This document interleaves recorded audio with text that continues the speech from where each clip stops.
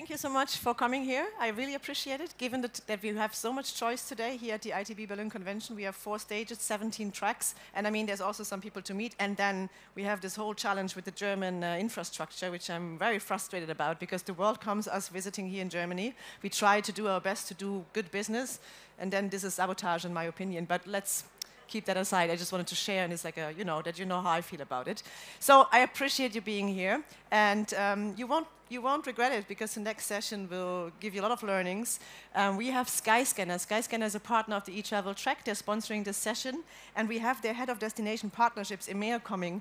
And she will share everything they can share based on their data. And as you know, they have loads of data. So I look forward to a lot of learnings. And I welcome on stage Zeynep Mutlubigali from Skyscanner. Thank you so much for being here. And the stage is yours. Thank you. Thanks so much, Leah. Thanks, everyone. Um, it's great to be here, and uh, thank you for coming to, to our speech today on the last day of the show. I'm glad everyone was able to make it, as Leah was saying, with the travel um, um, disruptions that was happening this morning. So um, I'm super excited today to talk to you about um, our Horizons reports uh, that we launched. But before that, let me just give you a quick introduction to who I am. Uh, so I'm Zeynep Mutlubigali from uh, Skyscanner. I head up our destination marketing team uh, for the EMEA region. Uh, we work with tourism boards globally all around the world to create beautiful campaigns to um, um, launch campaigns on our uh, platform on Skyscanner in order to make sure that we're increasing tourism numbers in the destinations that we work with. Um, so we worked uh, predominantly with the DMO, uh, DMOs all around the world, and um, I'm very happy to um, sort of talk about the Horizons report, which looks into all of the different destinations um, in each of the regions, and talk a little bit about trending destinations, booking windows, and other um, really important points that you'll see uh, just later on. So to start off with, um, I'm going to talk a little bit about Skyscanner and who we are, uh, just for those who may not know us yet. And then I'm going to go swiftly on to the 2024 Traveler um, into the Horizons report, uh, looking at uh, global traveler behaviors, um, and then the planning and um, destination trends that we have um, as well. So who are we? Uh, we're Skyscanner. Uh, we're a world-leading travel marketplace. Uh, we have three different verticals, flights, hotels, and car hire. Uh, we have more than 1,200 partners um, on our website, and we have more than 110 um, million global monthly um, unique visitors that are coming onto our website to be inspired, to find their next destination, and uh, to find their flights, hotels, and car hire with ease and confidence.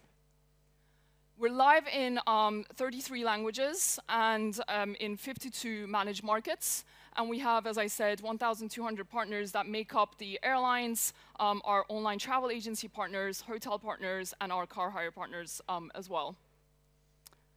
Now, coming on to a very interesting point about our audience that we have on Skyscanner. So here what we see is that 51% of the 110 million unique monthly visitors that we have on our site haven't actually decided where they want to go yet. Now, this is super interesting because we think that users are coming really knowing exactly where they want to fly, but actually our data tells otherwise. They're coming to us to be inspired, to understand where they actually would like to go next, which is where we come in as well in terms of inspiring content, inspiring images for the destinations that we work with um, as well. So they have no fixed destination or dates in mind, and we help them find their next trip of a lifetime. We have 18 billion unique routes supported, so with all the different algorithms and combinations that we have um, on our website, uh, through all of the API connections uh, that we have with our partners, we're able to combine all of this and really put everything towards our travelers to find their next trip uh, with ease and confidence. Now, going on to the Horizons report. Um, now, this is super exciting for us because we did a survey of 18,000 travelers, asking them a set of questions to understand what is happening in 2024, what are the trending destinations, um, what are the sort of new things that are coming up for us um, in the next year um, as well. So with this report, we're going to look at a couple of things. Uh, first, we're going to go through the booking windows, then the trending destinations, and lastly, look at a little bit about trip length um, in terms of how long our users are wanting to go to the destinations that they're picking. So starting off uh, with our EMEA travelers here. So our EMEA travelers are wanting to plan ahead. So we have a comparison uh, between 2023 and 2024 um, on the slide, looking at how many days ahead are, are, our users searching for travel when they're searching for the flights um, to their destinations. And what we can see here is that they are planning ahead. So after COVID, we're actually seeing a normalization in EMEA um, in, in, totality. So there is an increase in terms of the 90 days plus that we are seeing. And this is really good news for all of us as well, because that means that uh, within the normalization, the destinations can actually look ahead to see how many um, travelers are going to be coming in terms of inbound and plan ahead in terms of what kind of events or things to do that they can actually put into place um, as well. In terms of our American travelers, they're more sort of open to spontaneity. So what does that mean? They're actually booking trips a little bit less in advance, um, they're looking at you know, where they want to go next, and they're making a little bit more sort of quick decisions um, around this as well. And they're more open to sort of new destinations, making sure that they're doing sort of in-depth research uh, within this spontaneous era uh, that they have there. So with this, we're also actually seeing a 3% sort of increase in the 90 days plus as well there. They're also trying to um, plan ahead a little bit, but more so, the spontaneity um, seems to be uh, the trend for our American travelers. Now, moving on to our APAC travelers, um, they're planning both long and uh, short-term uh, travels ahead. And the reason for that is the opening of APAC later on than the other um, sort of markets and regions that we're seeing. So normalization is happening a little bit later um, in our APAC markets, um, with 18% of our travelers um, booking their trip uh, less than one week before their departure, which is less than 3% uh, uh, last year. So again, uh, we're very much looking at our APAC travelers uh, with um, a lot of focus, really understanding, okay, what is happening in that region? How can we help our travelers plan ahead more? How can we help them find that confidence back in travel um, as well? In terms of uh, looking at uh, when our travelers looking to actually go and what, are, what is happening in terms of the number of searches, um, so inside, inside EMEA uh, region, we're seeing that over 50% of our searches are for Europe within EMEA. So they're looking at um, short haul sort of trips uh, that are coming up, which is a 4% uh, increase uh, versus the 2023 levels. And again, uh, to do with you know, our partnerships with EMRs, this is a really, really important factor because we're trying to sort of shift our traveler mindset from, let's say, short haul to long haul or long haul to short haul. And this is the kind of data that we would be looking at um, in order to do so as well.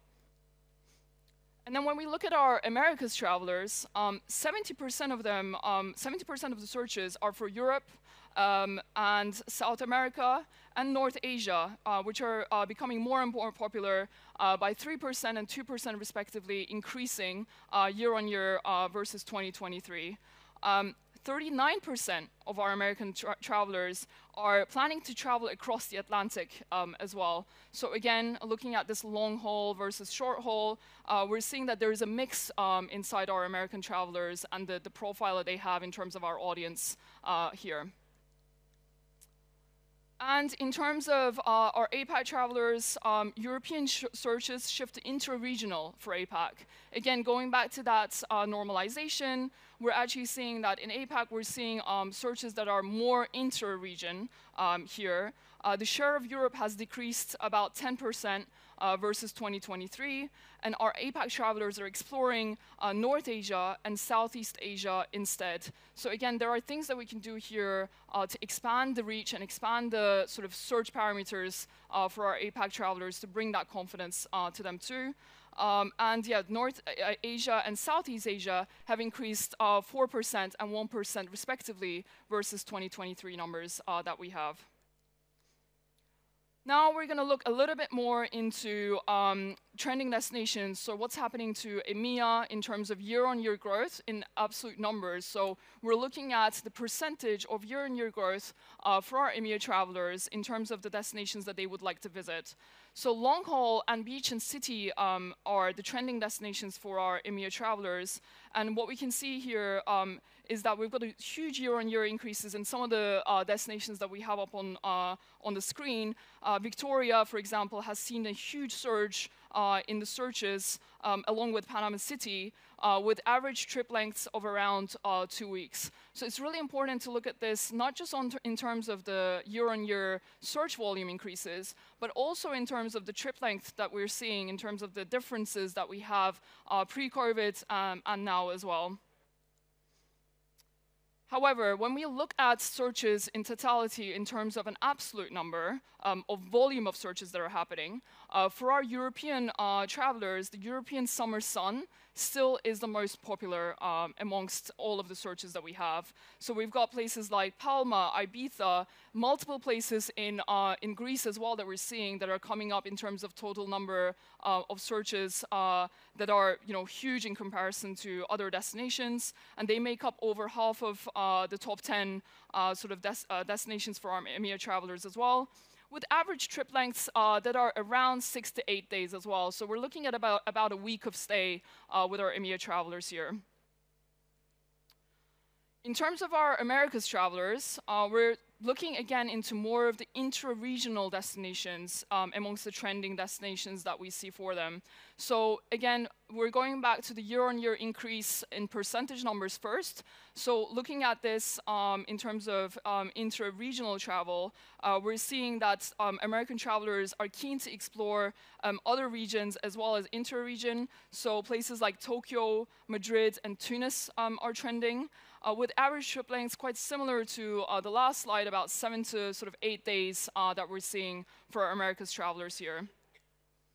When we look at this from a lens of absolute volume of searches that are happening um, for our Americas travelers, they're continuing to search for inspiration outside of the long haul city.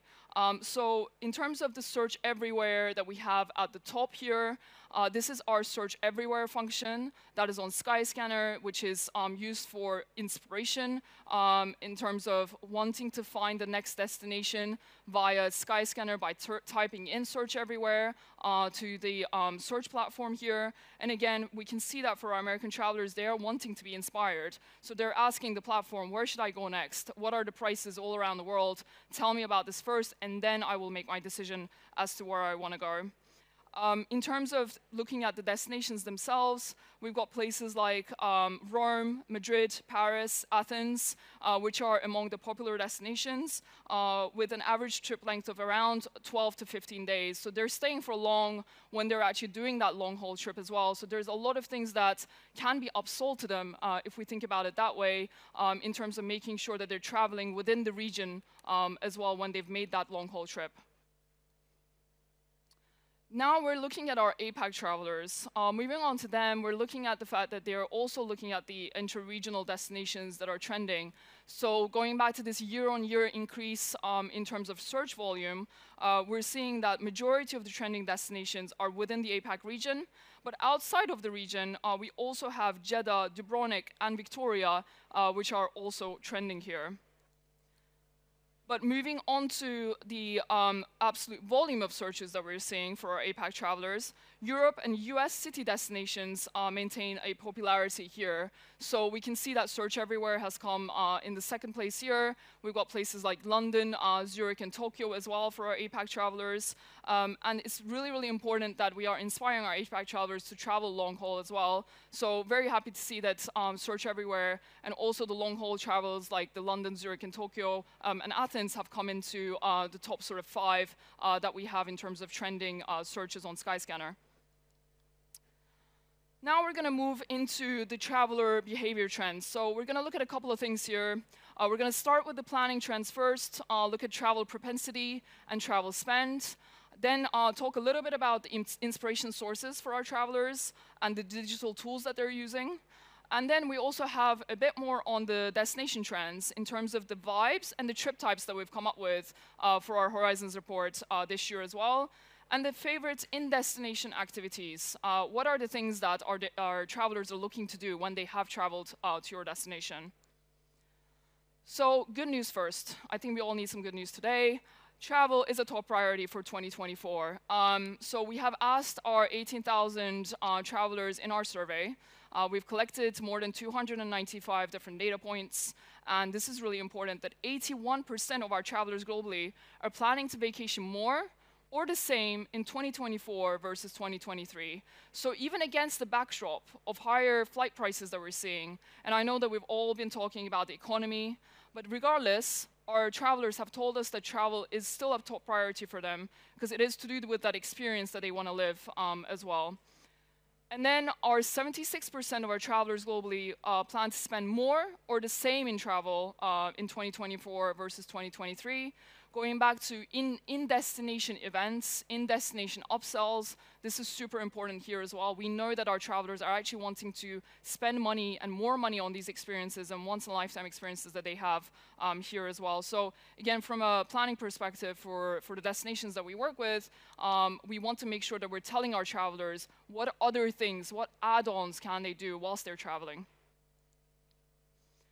Now, in terms of uh, looking at the factors um, of travel, airfares are still the biggest cost factor uh, that we see amongst our travelers. So they have told us that 30% of them um, have said flight cost mostly de determines the choice um, of the destinations that they pick uh, for their next uh, trip.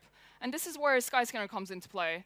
Uh, we have uh, features like Search Everywhere. We also have features like Cheapest Month, where our, our um, travelers can come in and start finding when is the best time to go to a certain destination and find it within their budget as well. So we're trying to be helpful to our travelers to actually explore the world um, as well. 21% have said uh, that um, they indicated that the hotel's cost um, is a top factor for them as well. So after flights, it then becomes, you know, accommodation. And then lastly, 7% said the tourist attractions as well. So the museum tickets, uh, the event tickets that they want to buy, they're also checking out, you know, how much it's going to cost um, for the overall trip. Is it going to be uh, within their budget? And are they going to be able to do everything that they, they, they were inspired to do so um, in there? in terms of what are they willing to spend more money on, so we talked about the fact that uh, travelers will be spending more or the same in 2024. So what is this going to be? 36% um, um, of them have said that insurance um, is their top um, ancillary uh, choice that they would pick. So looking at ancillaries overall, first we've got insurance at 36, seat selection at 36% as well, and then lastly, uh, they would be willing to up upgrade to business or first class as well at 20% uh, to make their experience a little bit better whilst they're traveling too. So these are, again, important factors to consider um, when we're looking at long haul versus short haul, uh, looking at sort of insurance products and seat selection. Ancillaries are also very important in terms of budgeting around the whole experience. Moving on to um, the small screen, um, I can see a couple of phones up taking photos. It's super, super important that we're live on small screen as well. And um, nearly half of our travelers have told us at 48% that they had done a destination search on a small screen. Um, and a flight comparison at 47% on their mobile device. So it's super important for us to make sure that our app and our mobile web experience is top notch um, so that we can serve our travelers in the, in the best way possible. Um, not only for inspiration, but also for the booking experience, because 40% of our travelers have indicated that they had booked travel options um, on their mobile as well.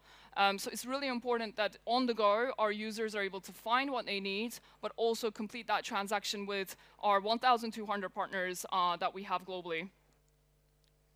In terms of where is our travelers looking for inspiration, uh, we've asked them about this, and YouTube has come as a top source of travel inspiration uh, for our travelers. With 40% have said that that is the main source of um, inspiration uh, that they get.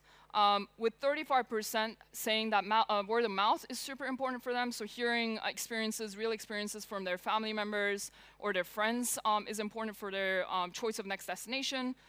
33% then said that Instagram is really, really important. And I think, um, you know, looking at the different features of each of the different social media platforms that we have is super important that um, our destination partners are live and have an omni-channel sort of strategy across all of it um, so that they can retarget and bring the user's attention to their destination um, so that our travelers can pick them as their next choice uh, for their next trip. Now, continuing on with um, sort of mobile devices, but also with innovation here, 22% of our travelers um, have said that they've used an AI chat chatbot uh, to plan and research travel. So um, in the in the earlier um, sort of talks uh, today, AI also had come up um, as a topic here, and uh, we're very happy to be a part of this journey uh, to see what we can do next, um, to be in this game as well to help our travelers. And um, I'm very happy to also talk about the fact that we have our AI chatbot that is in beta mode uh, right now uh, that you can use. Um, so with this beta mode, we are collecting a lot of data, getting a lot of feedback from our travelers, understanding if this is helpful, what else do they need, and we're learning as we iterate and, and go. Um, we're live in six countries right now with this beta. It's, it's live in English language only. Uh, it's live in Australia, India, Singapore, UK, US, and uh, Canada, um, if you'd like to try it um, as well. So what can you do with this AI chatbot? You can ask questions like the cheap uh, European city breaks, uh, can you find me a short flight for next weekend, or what are the foodie city breaks that I can take uh, for my next uh, sort of trip? And the AI chatbot will start sort of giving um, inspiration and suggestions uh, for our travelers with a seamless experience then to search for flights and book the flights uh, that they have found um, as well.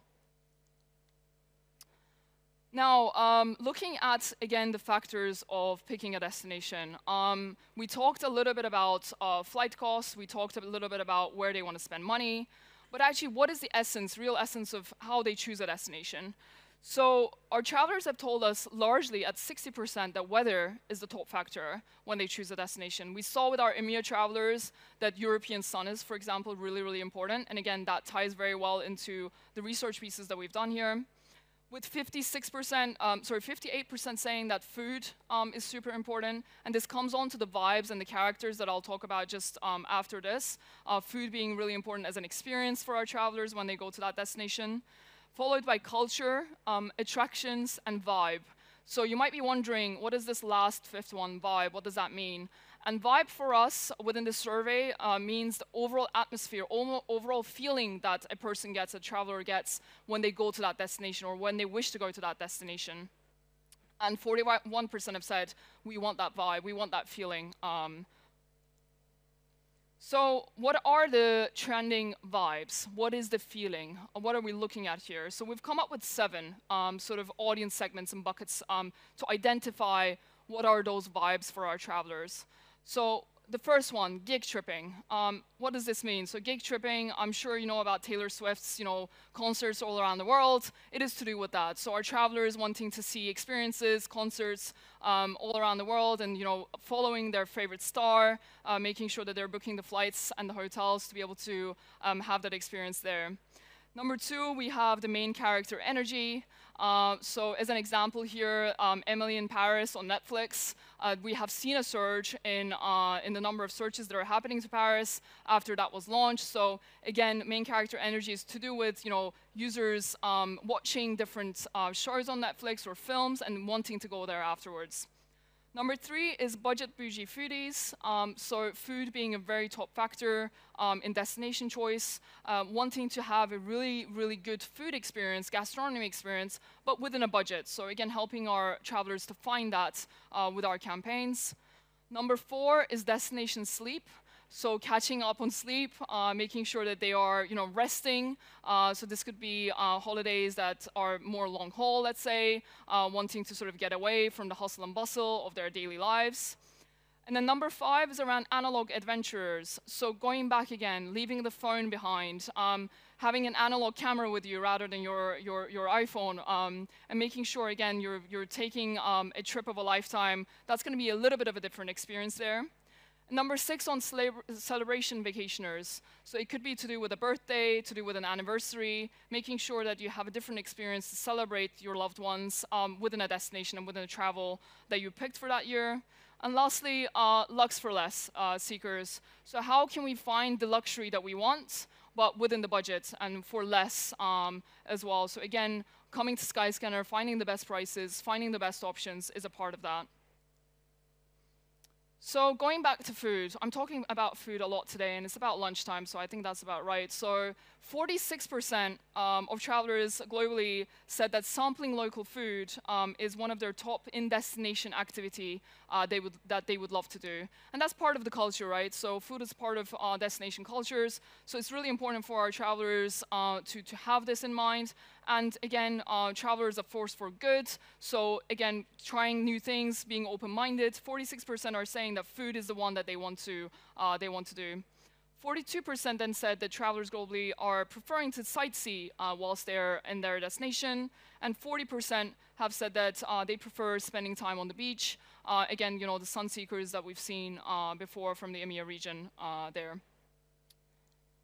So I think that's a whistle-stop tour on the trending vibes uh, and the trending destinations that we just went through here. But I just want to close off with a couple of, couple of words here. So Number one, um, we saw through our survey, and we see day in, day out again, through the engagement of our travelers on our Skyscanner platform, coming, searching, engaging with different flight options, different hotel options, and car hire options, engaging with all of our social media sort of posts um, and our videos as well, that travel remains a top priority for 2024. Uh, they want to be inspired, they want to get out there, they want to see new places. So even against this backdrop of higher prices, I think we are very confident that we are um, helping our travelers to find their next destination with ease and confidence. Um, in terms of the confidence, we saw this in the booking uh, trends earlier. So how far ahead are our travelers booking uh, their destinations? So in terms of EMEA and Americas, uh, we have seen that normalization come into place uh, already. For APAC, that's coming a bit later, but we're already seeing that come back as well again. And it's, it's our job to build that confidence uh, with the travelers as well so that they can get out and uh, start exploring new places. Number three, travelers are looking for inspiration online. We talked about YouTube, we talked about Instagram, I think it's really important for all of the destinations to be out there, constantly talking to travelers that are looking for next destinations. There are many different ways that uh, destinations can do this as well through uh, really, really um, focused retargeting programs that we have in place where we can help um, as Skyscanner. And number four, lastly, travelers are aligning their destination choice with their personal identity. We talked about seven different vibes just earlier. So unknowingly sometimes they're actually picking a place based on one of the vibes uh, there. So they could be actually celebrating something or they could be seeing a, a, a, superstar that they wanted to see for years. And that actually falls into some of those buckets here. And again, retargeting users with those kinds of vibes is super important because as Skyscanner, one of the most important things that uh, we say here is that we are traveler first. So we want to make sure that when travelers are, are on our platform, they're seeing things that actually help them. We don't want to bombard them with you know, information all the time. We want to put the right message in front of them at the right time and also in the right place, whether it's on mobile web, app, or on uh, desktop um, as well. And that is me, so um, please do check out our Skyscanner Insights. Here is the QR code for the Horizons report. So I'll take a couple of seconds for everyone to be able to uh, get the QR code here. Um, going back to what we are doing, so if you want to get in touch um, about any of the um, slides that I've just went through, um, I've got my email address over here. I'll also be hanging around after this talk as well. Uh, so please do grab me. We can have a chat about it as well. But um, it's very important uh, for us as Skyscanner to be, to be here today uh, to talk to you all. Um, we are here to serve our travelers, our partners, um, and we want to make sure that all of the destinations that we work with, all of the ones that we have seen at ITB over the last couple of days, um, are also knowing what we have on offer uh, that is to do with exactly the data that we gathered through our Horizons report and the data that we gather uh, day in, day out as well. So thanks for having me today, and um, hope you have a rest, um, great rest of your day. Thank you. Thank you so much, Zeynep Mutlu from Skyscanner, and thank you to Skyscanner being a partner of the eTravel Track and sponsoring the session. I think it was really interesting 30 seconds, um, minutes, of course, minutes. Oh my God, it's the last day of ITB. Um, well, I thank you again. I'm not